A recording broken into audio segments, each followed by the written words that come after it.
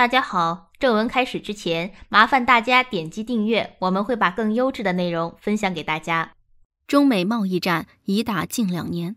几经反复，至今形势依然焦灼。当前这种格局，与特朗普政府对华贸易战的初衷和预期都相去甚远。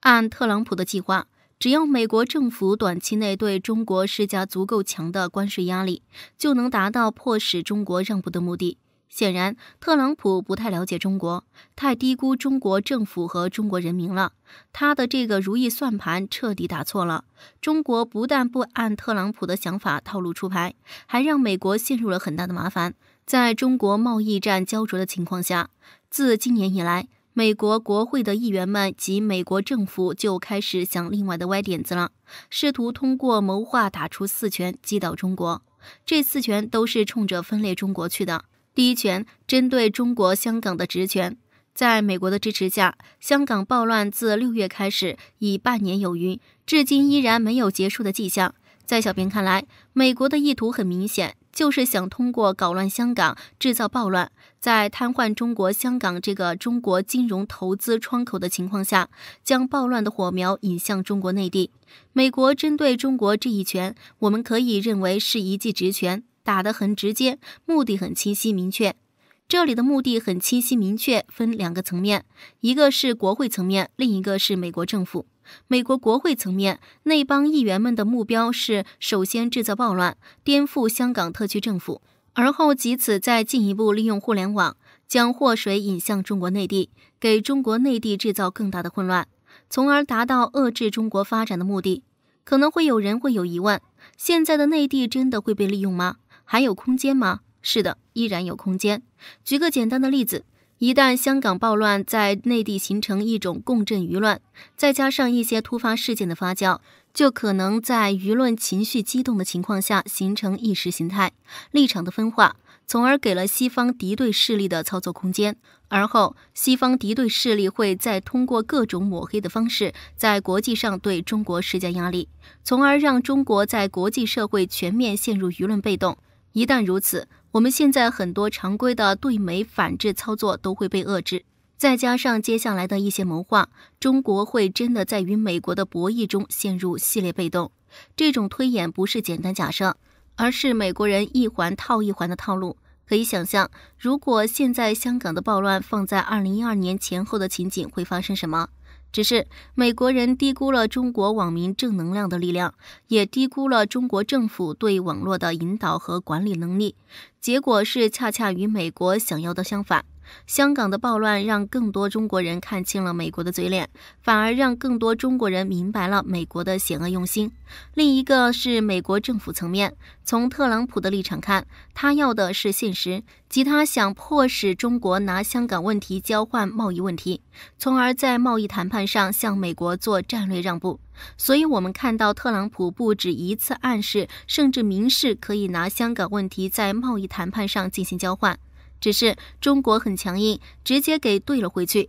一点机会都不给。在这种情况下，香港暴乱的指挥上，美国政府就参与相对少了，主要由美国国会的反华势力主导。第二权针对中国新疆的左摆拳，在通过涉港法案后，美国立刻就又通过了涉疆法案。针对中国的反恐之乱，去极端化的措施说三道四，甚至要对中国新疆的政策进行长臂管辖，迫使中国自废武功，给美国支持东突恐怖主义开路。美国的这记左摆拳看似不重，对大局也起不了没什么决定性影响，但在小编看来，实际上用心却极其险恶。且如果美国第一拳直拳打得顺利，那么这一记左摆拳就是连击，威力就大了。首先，若美国打在香港的第一拳效果很好，那么涉疆法案出台就能形成共振。一方面是香港正在进行暴乱，把香港的暴徒描绘成争取民主自由的斗士，把美国描绘成带领西方支持香港暴徒就是支持民主和自由；另一方面，则是美国为首的西方使劲抹黑中国的反恐与去极端化，把中国描绘成独裁专制的迫害民众、践踏人权的政府。不但丑化和抹黑中国的反恐和去极端化政策，还通过丑化让中国在外交上、国际声誉上受损。其次，美国会拉拢反华势力一起大力支持东突、东伊运，在给中国施加巨大国际舆论压力的情况下，支持暴恐组织从中亚潜回中国新疆制造恐袭，从而在中国内部制造混乱，通过破坏中国反恐和去极端化成果来达到破坏中国内政的目的。破坏中国内政，一方面是借机影响中国经济的正常发展。另一方面，则是通过给中国制造问题，从而削弱中国的大国外交能力。其三，美国会出台一系列法案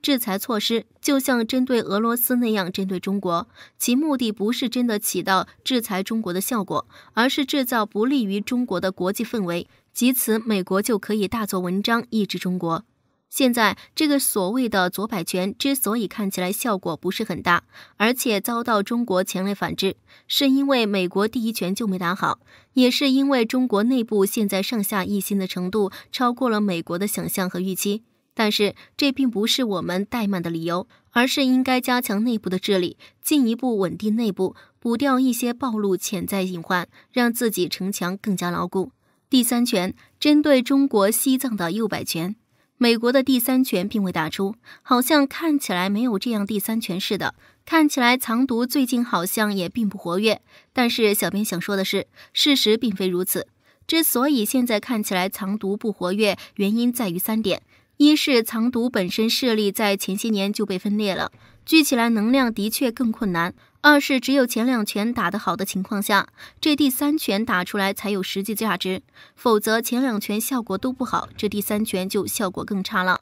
三是印度与美国关系的偏冷，影响了美国对藏毒势力操纵。不过，只要两拳打得好，藏毒势力一定会蹦出来，因为那个时候只要蹦出来就有利益。但哪怕如此，接下来美国依然有可能会打出涉藏的第三拳，哪怕没有效果。第四拳针对中国台湾一记重拳，相比涉港、涉疆、涉藏的问题，涉及台湾的问题要敏感很多。这其中原因也很简单：新疆、西藏直接在中央直接治下，香港虽然一国两制，但整体翻不起什么大浪。真到极端情况下，只要我们出手，就是摧枯拉朽，一举摆平。可以说前三个问题都在掌握之中的，顶多聒噪无法震动。但涉及台湾的问题就不同了。由于台湾地区还是割据政府，一旦真的涉及到突破底线的问题，中国就必须做出重大选择。譬如，二零一七年面对美国威胁要军舰停靠高雄，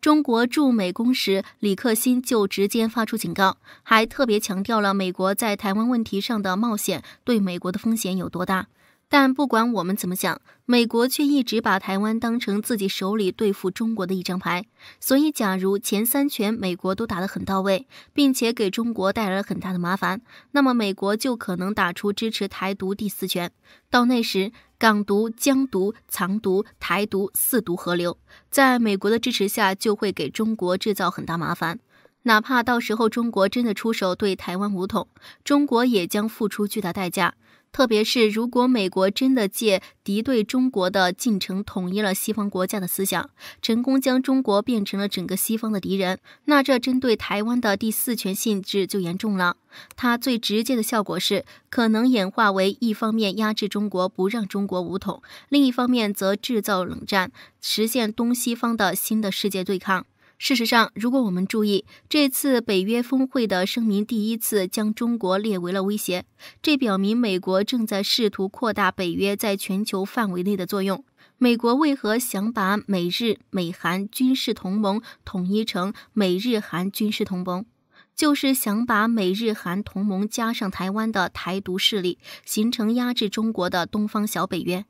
美国的第四权意图是击倒中国。虽然现在美国虚了，中国实了，美国打出来的拳基本没伤到中国，但我们对美国的警惕是必须保持的，对美国的险恶用心是必须要清楚明白的。你对我恶意满满，就别怪我们对你唾弃连连。针对美国的龌龊行为，外交部发言人最近对的真好。今天的节目就到这里，喜欢的朋友别忘记点赞、分享、订阅，